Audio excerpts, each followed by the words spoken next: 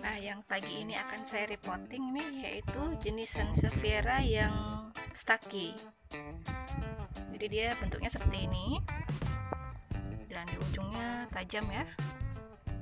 Ini beberapa orang menyebutnya Sansevieria pedang-pedangan. Tanaman yang ini sudah keluar akar banyak ya. dan ini sebetulnya umbinya bisa dipotong dipotong nanti ditanam lagi. Nanti dia bisa akan tumbuh tunas-tunas yang baru.